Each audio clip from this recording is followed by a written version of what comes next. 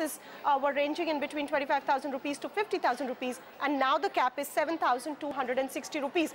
Now what you have to also look at it from the perspective of why the government and how the government went about it was through a consultative process between the industry, the patients, the hospital groups and they came to a conclusion in a very scathing order they wrote that they found huge unethical markups in the supply chain that resulted in irrational, restrictive and exorbitant prices and they've called this as a failed market system and they said this pushed patients into financial misery and which is why the government went ahead and has put price caps at such a steep cut. Uh, the two operative part in this order is one, that in the central government's uh, healthcare scheme, the stent prices were already capped. So the government, in the government schemes, it was already capped at around 13,000 or 40,000 odd rupees. Uh, but it is for the private hospitals and the private uh, uh, uh, patients when they go to private hospitals, which is where the number of cardiovascular cases have gone up, angioplasties have gone up.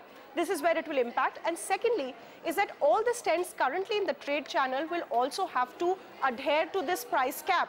Now that is the operative part and will have to be seen how it is implemented.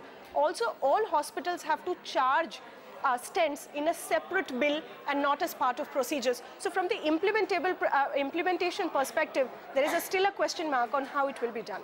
Okay, still some answers to be figured out, but uh, the price fall, if you look at the higher end of 1.95 to 30,000, is significant. Thanks, Archana.